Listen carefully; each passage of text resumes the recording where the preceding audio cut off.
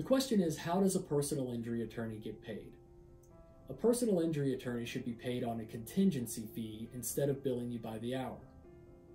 Another thing that should be contingent is the personal injury attorney's expenses.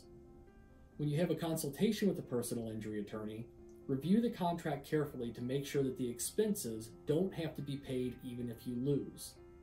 Since the expenses on some types of personal injury cases can be thousands of dollars, you don't want to have that bill hanging over your head if you've gone all the way through the court process but didn't recover money. At Lawrence & Associates, our contracts say that both fees and expenses are contingent upon recovering money, so you'll never receive a bill from us for any work that we've done.